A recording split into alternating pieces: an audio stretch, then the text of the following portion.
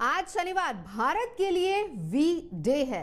We day यानी कि vaccine day आज भारत कोरोना के खिलाफ जीत हासिल करने का अभियान की शुरुआत करने वाला है, जिसके लिए आज पूरे देश में लोगों ने कमर कस रखी है। कोरोना महामारी के दौरान कई बार देश को संबोधित कर चुके प्रधानमंत्री नरेंद्र मोदी दुनिया के सबसे बड़े वैक्सीनेशन प्रोग्राम को लॉन्च करेंगे। उत्तर प्रदेश में कोविड के टीकाकरण की तैयारियाँ पूरी हो चुकी हैं। हम इस वक्त मौजूद हैं केजीएमयू अस्पताल में, जहाँ पर आखिरी तौर पर इस टीकाकरण की तैयारियाँ हो रही हैं। पूरी तरीके से पूरा प्लान तय है। उत्तर प्रदेश की मैं बात करूँ तो यहाँ पर कुल लगभग साढ़े आठ हेल्थ वर्कर्स का रजिस्ट्रेशन है, जिसमें तीन सौ सत्रह सेंटर्स पर इकतीस कर्मियों को पहले दिन ये टीका लगना है। इस वक्त हम मौजूद है अहमदाबाद के सिविल अस्पताल में, जहाँ पे वैक्सीनेशन ड्राइव चलेगा और यहीं पे, और प्रधानमंत्री नरेंद्र मोदी के ज़रिए जो हेल्थ वर्कर को टीका दिया गया है, उनके साथ बातचीत भी की जाएगी। अहमदाबाद के सिविल अस्पताल की बात की जाए तो ये सबसे बड़ी अस्पताल है, जहाँ पे सात हज़ार से लेके दस हज़ार जितने जो हेल्थ के कर्मचारी है, वो यहाँ पे काम करते हैं। तो सबसे अहम रहेगी इस जगह पे जो वैक्सीनेशन का काम होगा, और यहाँ पे ऑब्जर्वेशन रूम बनाया गया है।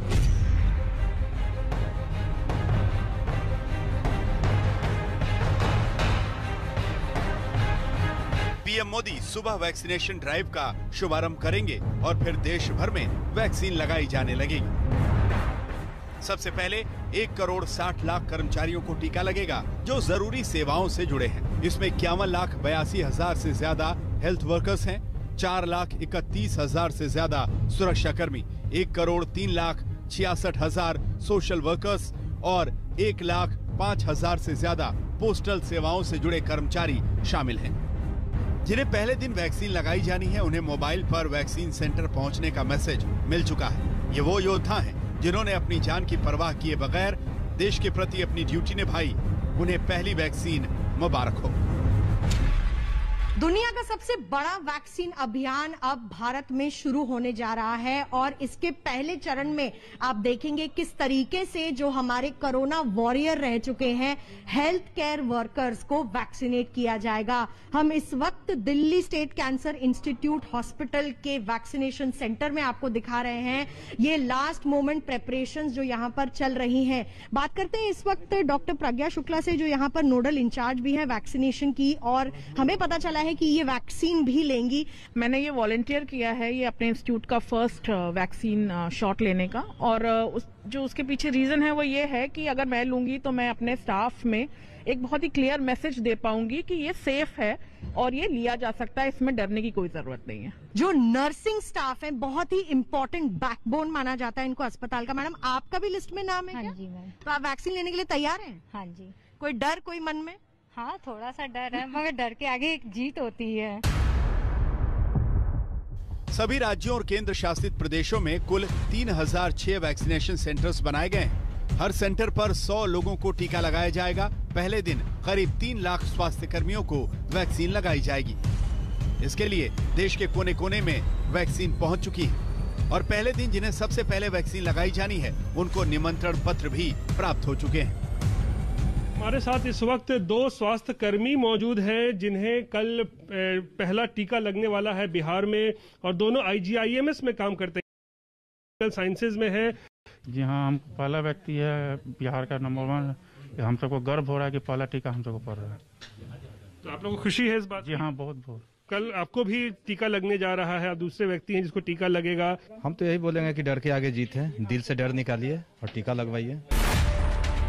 देश में जुलाई तक 30 करोड़ लोगों को वैक्सीन लगाए जाने की तैयारी है लेकिन अभी फोकस वैक्सीन डे को सफल बनाने पर है। दिल्ली में पहले दिन 8,100 लोगों को टीका लगेगा। उत्तर प्रदेश में पहले दिन 31,100 लोगों को टीका लगाया जाएगा। मध्य प्रदेश में 15,000 लोगों को टीका लगेगा। राजस्थान में 16,000 लोगों को पहले दिन टीका लगेगा। महाराष्ट्र में 50,000 लोगों को वैक्सीन लगाई जाएगी। इसके बाद जैसे जैसे दिन बीतेंगे वैक्सीनेशन ड्राइव को तेज किया जाएगा। मेगा लॉन्चिंग डेट के लिए झारखंड में भी तैयारियाँ पूरी की जा रही है। इस वक्त सदर अस्पताल में हम हैं और फाइनल टच दिया जा रहा है। तैयारियों को लेकर जायजा ले रहे हैं जो जिला प्रशासन के लोग हैं, डीसी एसपी, तमाम लोग यहाँ पे हैं। फ्लॉलेस हो ये कैंपेन, बिल्कुल उसके लिए जो है आ, कमर कसा है प्रशासन ने चंडीगढ़ में तमाम तरह की तैयारियाँ पूरी कर ली गई हैं। यहाँ पर ये बड़ी एलसीडी लगाई गई है। किस तरीके से टर्न करना है नीचे ये निशान लगाए गए हैं। कोविड 19 का टीका सुरक्षित है। टीकाकरण करवाने के लिए पंजीकरण पहले अनिवार्य है। उसके साथ क्या क्या चाहिए? Aadhaar card voter ID card और क्या क्या जो है आपको पहचान पत्र चाहिए, वो सारी जानकारियाँ यहाँ पर लिखी गई हैं। आप देख सकते हैं, ये कोविड 19 वैक्सीनेशन सेंटर यहाँ पर स्पेशली बनाया गया है। वैक्सीनेशन डे से पहले कुछ नियम और शर्तें भी हैं, जिन्हें समझना ज़रूरी है, ताकि कोई कंफ्यूजन ना रहे। जैसे, पहले चरण में अभी किसी को वैक्सीन चुनने का विकल्प नहीं मिलेगा। वैक्सीन लगवाना स्वैच्छिक है यानी वैक्सीन लगवानी है या नहीं, ये आप खुद तय करेंगे। वैक्सीन की एक डोज लेने के बाद 28 दिन में दूसरी डोज लेनी होगी। और सबसे महत्वपूर्ण बात, वैक्सीन का पूरा प्रभाव दूसरी डोज के 14 दिन बाद ही देखा जा सकता है। यानी वैक्सीन लगवाने के बाद भी आपको निश्चिंत नहीं हो जाना है। पीएम मोदी भी ये अपील देश के सामने कर चुके हैं। पहले मैं कहता था, दवाई नहीं तो ढिलाई नहीं। लेकिन अब मैं फिर से कह रहा हूँ दवाई भी और कड़ाई भी। मैदान यानी वैक्सीनेशन सेंटर्स तैयार हैं। हथियार यानी वैक्सीन की शीशियाँ भी तैयार हैं। कोरोना वॉरियर्स यानी हेल्थ केयर वर्कर्स मोर्चा संभाल चुके हैं। कोरोना के खिलाफ भारत के निर्णायक युद्ध का शंखनाद होने ही वाला है। और अब बात मौसम की कर लेते हैं क्योंकि दिल्ली समेत एनसीआर में आज भी भीषण कोहरा है। लोगों का सामना कोहरे से हो रहा है। रात का कुहासा शुरू हुआ तो सुबह तक घना कोहरा छा गया। दिल्ली में बहुत सारे ऐसे इलाके हैं जहाँ पर दो से तीन मीटर की विजिबिलिटी बची है। फ़िलहाल यहाँ रुकेंगे एक ब्रेक के लिए। आज तक पर खबरों का सिलसिला लगातार जारी है। देखते रहिए आज तक। नमस्कार, आप देख रहे हैं आज तक। मैं हूँ आपके साथ नवजोत रंधावा। सुबह सुबह में आपका स्वागत है और सुबह सुबह में जिस खबर से और जिस मौसम से हम दो चार हुए हैं, सबसे पहले वही आपको बता देते हैं, क्योंकि ये सावधानी आपको भी बरतनी बहुत ज़रूरी ना हो तो घर से बाहर ना निकले। विजिबिलिटी बेहद कम है। दिल्ली और एनसीआर में आज फिर से घना कोहरा छाया हुआ है। और जिस तरीके से हालात हैं, उसमें बस यही कहा जा सकता है कि दो से तीन मीटर तक की विजिबिलिटी है। बहुत सारी ऐसी जगह है जहाँ पर इससे भी कम है और ऐसे में राहगीरों को बेहद मुसीबत का सामना आज करना पड़ रहा है। कोहरे के साथ ही ठिठुरन भी लगातार बढ़ती जा रही है, लिहाजा ज़रूरी ना हो तो घरों से बाहर ना निकले और कोहरा छटने का इंतज़ार करें ताकि किसी भी अनहोनी की आशंका से सुरक्षित रहा जा सके। दिल्ली की सड़कों की हालत कैसी है, वो आप इन तस्वीरों को देखकर अंदाज़ा लगा सकते हैं। चलेंगे सीता, सुशांत हमारे सहयोगी हमारे साथ जुड़ चुके हैं। सुशांत, बहुत कम विजिबिलिटी अभी फ़िलहाल हालात क्या है? साढ़े सात बज रहे हैं। देखिए नवजोत, सुबह साढ़े सात बज रहे हैं और मैं आपको बताना चाहूँगा कि विजिबिलिटी दिल्ली के अंदर अगर कहा जाए, सिर्फ़ इक्का दुक्का एरियाज़ में नहीं, बल्कि पूरी ओवरऑल दिल्ली के अंदर विजिबिलिटी काफ़ी ज़्यादा बेहद खराब स्थिति में जो है वो पहुँची हुई है। पालम इलाके की बात करें तो ज़ीरो विजिबिलिटी है और इस वक्त मैं मौजूद हूँ जीटीवी इलाके में, जहाँ पर तकरीबन तकरीबन 10 से 15 मीटर विजिबिलिटी जो है वो इस वक्त जो है वो नज़र आई है। हालाँकि दिल्ली में तापमान में पिछले कई दिनों से लगातार जिस तरीके से गिरावट देखी जा रही थी, उसमें अगर कहा जाए थोड़ी राहत है। आज तापमान जो है वो नौ डिग्री के आसपास जो है वो दर्ज किया गया है। क्योंकि पिछले कई दिनों से जो तापमान था, अगर कहा जाए तो तीन डिग्री तक पहुँचा था, लेकिन उससे राहत ज़रूर मिली है। लेकिन जिस तरीके से घने कोहरे की चादर पूरी दिल्ली एनसीआर के अंदर एक बार देखने को मिल रही है, उसने दिल्ली वासियों की परेशानी जो है वो सुबह के वक्त बढ़ा दी है। एहतियातन के तौर पर जिन लोगों को घर से अगर बाहर निकलना है तो वो अगर ज़रूरी काम है तभी बाहर निकले, अन्यथा बाहर ना निकले, क्योंकि किसी भी तरीके की दुर्घटना से अगर बचना है, क्योंकि घना कोरा काफ़ी ज़्यादा है और ऐसे में कोई दुर्घटना ना हो, ऐसे में बचने के लिए अगर आपको चाहिए तो घरों से बाहर कम से कम निकले। इस बात का ख्याल बिल्कुल लोगों को रखना चाहिए और इसीलिए बार बार हम भी बता रहे हैं और ये सीधा एक्सपीरियंस भी सुशांत अपना शेयर कर रहे हैं। मैं भी लगातार आपको बता रही हूँ किस तरीके से कोहरे से दो चार हम होकर सुबह सुबह दफ्तर पहुँचे, लेकिन इस बीच मौसम विभाग क्या कह रहे हैं? सुशांत, ये भी बताएँ, ये जानना बहुत ज़रूरी होगा, आने वाले दिनों में क्या कोहरा ऐसा रहेगा, ठंड कितनी रह सकती है, क्या कहना मौसम विभाग का? देखिए, मौसम विभाग की माने तो उनका साफ़ तौर पर यह कहना है कि अगले दो से तीन दिन तक इसी तरीके का कोहरे की चादर जो है वो दिल्ली एनसीआर के अंदर जो है वो बनी रहेगी, क्योंकि और इसके साथ साथ शीत लहर जो है वो थोड़ी सी कम रहेगी। उसके बाद एक बार फिर शीत लहर जो है वो दो से तीन दिन बाद एक बार फिर दिल्ली एनसीआर के अंदर आएगी। ठंड जो है वो एक बार फिर से बढ़ेगी। तापमान है, उसमें भी गिरावट जो है वो दर्ज की जाएगी, लेकिन कोहरे से थोड़ी राहत मिलेगी। लेकिन अभी दो से तीन दिन तक इसी तरीके का कोहरा दिल्ली एनसीआर के अंदर जो है वो बना रहेगा। अमूमन अगर बात करें दिल्ली के अंदर तो जो रिज एरिया थे वहाँ पर इस तरीके का कोहरा सुबह के वक्त दिखाई देता था। लेकिन आज अगर बात की जाए तो हर छोटी मोटी कॉलोनी से लेकर के मेन रोड तक रिंग रोड तक इसी तरीके का जो कोहरा है वो नज़र आ रहा है और विजिबिलिटी बेहद कम है। काफ़ी कम विजिबिलिटी सुशांत अपने कैमरे से दिखा रहे थे हमको तो बहुत ज़रूरी ना हो तो घरों से बाहर ना निकले कोहरा छटने का इंतज़ार करें। अब इसी के साथ हम आपको दिखा देते हैं पहाड़ों का हाल क्या है क्योंकि लगातार पिछले एक पखवाड़े की बात करें तो बर्फबारी वहाँ पर होती जा रही है जिसका आ, नतीजा ये है कि पारा गिरता जा रहा माइनस तक पहुँच गया है डल झील जमकर बर्फ़ का दरिया बन गई है और लद्दाख की अगर बात करें तो पारा माइनस तीस डिग्री तक पहुँच गया है। हालात क्या है बता रहे हैं अशरफानी आम लोग समझते हैं कि शायद यहाँ लद्दाख में लाइन ऑफ़ एक्चुअल कंट्रोल पर इतनी ज़्यादा बर्फबारी नहीं होती है, यहाँ ठंड भी ज़्यादा नहीं होती होगी। लेकिन ठंड का अंदाज़ा आप इस दरिया से लगा सकते हैं। ये पूरा एक दरिया है जो पूरी तरह से जम चुका है और यहाँ पर अब पानी का जो बहाव है, वो ना के बराबर है और पूरा जो है, ये दरिया अब बर्फ़ के दरिया में बदल गया है। ये सिर्फ़ इस दरिया की कहानी नहीं है, बल्कि जितने भी इस लद्दाख क्षेत्र में दरिया होते हैं, वो सर्दियों के दौरान पूरी तरह से जम जाते हैं और उन पर फिर आसानी से चला जा सकता है। यहाँ तक कि दरियाओं के ऊपर से गाड़ियाँ भी चलाई जाती हैं। इस वक्त भी अगर यहाँ की बात करें तो तापमान इस वक्त यहाँ पर माइनस बीस डिग्री है, जो रात में लुढ़क कर माइनस पैंतीस तक चला जाता है। लेकिन इस के चलते जो है, पूरी तरह से जनजीवन थम जाता है। फिर चाहे आम लोगों का हो कोई आवाजाही दिखती नहीं है। चलना फिरना मुश्किल हो जाता है और उसके लिए भी जो है कहीं ना कहीं लोगों को जूझना पड़ता है और यही कारण है कि सर्दियों में इस पूरे क्षेत्र में जीना किसी बड़े इम्तिहान या किसी बड़ी चुनौती से कम नहीं। रूफ अहमद के साथ अशरफानी एल आज तक।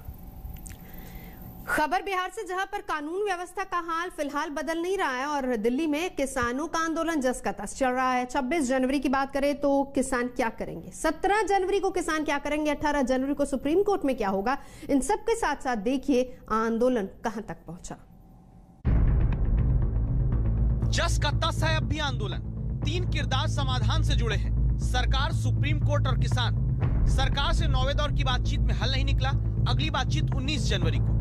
सुप्रीम कोर्ट से बनाई गई कमेटी के चार सदस्यों में से एक सदस्य ने कमेटी छोड़ दी। किसानों ने कहा, सरकार से बात करेंगे, कमेटी से नहीं। और किसान खुद अब भी कानून रद्द करने की मांग के साथ है। 26 जनवरी को दिल्ली में ट्रैक्टर परेड निकालने की तैयारी भी। अब सबसे पहले सुनते हैं विज्ञान भवन में। नौवे दौर की चार घंटे चली बातचीत में क्या हुआ? सरकार ने साफ़ कर दिया कि तीनों कानूनों की वापसी नहीं होगी, हम संशोधन करने को तैयार हैं। जबकि किसान आज फिर इस बात पर अड़े रहे कि तीनों कानूनों को रद्द किया जाए, वापस किया जाए, तभी यह आंदोलन खत्म होगा। चर्चा निर्णायक मोड़ पर नहीं पहुँच पाई। और उसके बाद यूनियन और सरकार दोनों ने मिलकर ये तय किया कि 19 जनवरी को दोपहर 12 बजे पुनः चर्चा करेंगे। मुझे आशा है कि जो चर्चा आज हुई है यूनियंस उस चर्चा को आगे बढ़ाने का प्रयत्न करेंगी। कोर्ट में हम नहीं जा रहे कमेटी के उसमें। हम सरकार से ही बातचीत करेंगे। ठीक है? सरकार से हम बात करेंगे। उन्नीस तारीख को बातचीत में कुछ हल निकलेगा ऐसा लग रहा क्या पता निकलेगा नहीं निकलेगा ये उम्मीद है कि फरवरी में जाके इसका कुछ संशोधन की तरफ़ सरकार जाएगी। समाधान की दूसरी कोशिश सुप्रीम कोर्ट की तरफ़ से बनाई गई। चार सदस्यों की कमेटी को करना है, जिसके सदस्यों के कानून के समर्थन में होने का मानकर किसान भरोसा ही नहीं कर रहे। उसी कमेटी के एक सदस्य, भूपिंदर सिंह मान ने खुद को अलग कर लिया। चीफ जस्टिस अविद्या ने अगर मेरे में इतना फेथ और कॉन्फिडेंस व्यक्त किया है तो मैं उनसे बात पहले करूँ। तो I spoke to him CGI को। मैंने उनको बोला कि मैं इसे निकलना चाहता हूँ। सुनने में आ रहा है कि आपको कुछ धमकियाँ आ रही हैं कुछ असामाजिक तत्व धमकियाँ दे रहे हैं। नहीं नहीं बिल्कुल नहीं। कोई ऐसी बात नहीं। ये ऐसी तो एक घंटे में मैंने ये सारा कुछ किया है। बिल्कुल भी इसमें कोई कोई आयोटा ऑफ़ ट्रूथ नहीं है। मैंने अपने आप किया है। तीसरी खबर यह कि किसान अब भी दिल्ली में 26 जनवरी को ट्रैक्टर परेड की तैयारी कर रहे हैं। दिल्ली में रोके जाने पर बैरिकेड हटाने के लिए ट्रैक्टर्स को अलग तरीके से सुरक्षा कवच देने जैसा मॉडिफाई करा गया। पंजाब हरियाणा के कई गाँवों से साठ हज़ार ट्रैक्टर लेकर दिल्ली आने का रिहर्सल चल रहा है। बातचीत हो भी जाओ और ना भी हो जाओ छब्बीस तारीख को तो लोग आएँगे। स्थान कहाँ रहेगा उनका, वो डिसाइड हम कर लेंगे। सरकार से क्या करनी, छब्बीस तारीख सरकार थोड़ा हमने तो ये कहा भाई जहाँ परेड, हम पूरी परेड काट देंगे। पूरी परेड निकाल देंगे सरकार आधी परेड काट दी, आधी को हम पूरी कर देंगे। दिल्ली में सुरक्षा को लेकर किसी तरह का टकराव न हो। इस मामले में सोमवार को सुप्रीम कोर्ट में सुनवाई होनी बाकी है। संगरूर से मंजीत सहगल और चंडीगढ़ से सत्येंद्र चौहान के साथ अशोक सिंघल, दिल्ली, आज तक। आज शनिवार का दिन भारत के लिए बेहद अहम है, क्योंकि आज के दिन को हम कहेंगे वी डे वी डे यानी कि वैक्सीन डे। और आज से भारत कोरोना के खिलाफ जीत हासिल करने के अभियान का शुभारंभ कर रहा है, जिसके लिए पूरा देश कमर कस चुका है, तैयार है। कोरोना महामारी के दौरान कई बार देश को संबोधित कर चुके प्रधानमंत्री नरेंद्र मोदी दुनिया के सबसे बड़े वैक्सीनेशन प्रोग्राम को लॉन्च करेंगे। जिसका मुझे इंतज़ार जिसके लिए दिल था बेपरार वो घड़ी आ गई आ गई। आखिरकार वो घड़ी आ ही गई जिसका पूरे देश को बेसब्री से इंतज़ार था। जब भारत में होगा शुभारंभ दुनिया के सबसे बड़े वैक्सीनेशन प्रोग्राम का जिसकी पूरी तैयारी करके बैठा है हिंदुस्तान। उत्तर प्रदेश में कोविड के टीकाकरण की तैयारियाँ पूरी हो चुकी हैं। हम इस वक्त मौजूद हैं केजीएमयू अस्पताल में, जहाँ पर आखिरी तौर पर इस टीकाकरण की तैयारियाँ हो रही हैं। पूरी तरीके से पूरा प्लान तय है। उत्तर प्रदेश की मैं बात करूँ तो यहाँ पर कुल लगभग साढ़े आठ हेल्थ वर्कर्स का रजिस्ट्रेशन है, जिसमें तीन सौ सत्रह सेंटर्स पर इकतीस कर्मियों को पहले दिन ये टीका लगना है। इस वक्त हम मौजूद हैं अहमदाबाद के सिविल अस्पताल में, जहाँ पे वैक्सीनेशन ड्राइव चलेगा और यहीं पे, और प्रधानमंत्री नरेंद्र मोदी के ज़रिए जो हेल्थ वर्कर को टीका दिया गया है, उनके साथ बातचीत भी की जाएगी। अहमदाबाद के सिविल अस्पताल की बात की जाए तो ये सबसे बड़ी अस्पताल है, जहाँ पे सात हज़ार से लेके दस हज़ार जितने जो हेल्थ के कर्मचारी है वो यहाँ पे काम करते हैं तो सबसे अहम रहेगी इस जगह पे जो वैक्सीनेशन का काम होगा और यहाँ पे ऑब्जर्वेशन रूम बनाया गया है।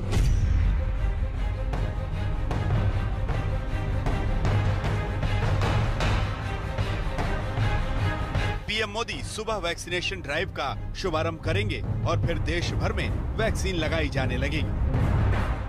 सबसे पहले एक करोड़ साठ लाख कर्मचारियों को टीका लगेगा, जो ज़रूरी सेवाओं से जुड़े हैं। इसमें इक्यावन लाख बयासी हज़ार से ज़्यादा हेल्थ वर्कर्स हैं, चार लाख इकतीस हज़ार से ज़्यादा सुरक्षा कर्मी, एक करोड़ तीन लाख छियासठ हज़ार सोशल वर्कर्स और एक लाख पाँच हज़ार से ज़्यादा पोस्टल सेवाओं से जुड़े कर्मचारी शामिल हैं। जिन्हें पहले दिन वैक्सीन लगाई जानी है, उन्हें मोबाइल पर वैक्सीन सेंटर पहुँचने का मैसेज मिल चुका है। ये वो योद्धा हैं जिन्होंने अपनी जान की परवाह किए बगैर देश के प्रति अपनी ड्यूटी निभाई। उन्हें पहली वैक्सीन मुबारक हो दुनिया का सबसे बड़ा वैक्सीन अभियान अब भारत में शुरू होने जा रहा है और इसके पहले चरण में आप देखेंगे किस तरीके से जो हमारे कोरोना वॉरियर रह चुके हैं हेल्थ केयर वर्कर्स को वैक्सीनेट किया जाएगा। हम इस वक्त Delhi state cancer institute hospital के वैक्सीनेशन सेंटर में आपको दिखा रहे हैं। ये लास्ट मोमेंट प्रेपरेशन जो यहाँ पर चल रही है। बात करते हैं इस वक्त डॉक्टर प्रज्ञा शुक्ला से, जो यहाँ पर नोडल इंचार्ज भी है वैक्सीनेशन की, और हमें पता चला है कि ये वैक्सीन भी लेंगी? मैंने ये वॉलेंटियर किया है ये अपने इंस्टीट्यूट का फ़र्स्ट वैक्सीन शॉट लेने का। और उस, जो उसके पीछे रीजन है वो ये है कि अगर मैं लूँगी तो मैं अपने स्टाफ में एक बहुत ही क्लियर मैसेज दे पाऊँगी कि ये सेफ़ है और ये लिया जा सकता है इसमें डरने की कोई ज़रूरत नहीं है। जो नर्सिंग स्टाफ है बहुत ही इम्पोर्टेंट बैकबोन माना जाता है इनको अस्पताल का। मैडम आपका भी लिस्ट में नाम है हाँ क्या? जी मैम। तो आप वैक्सीन लेने के लिए तैयार हैं? हाँ जी। कोई डर कोई मन में? हाँ थोड़ा सा डर है, मगर डर के आगे एक जीत होती है।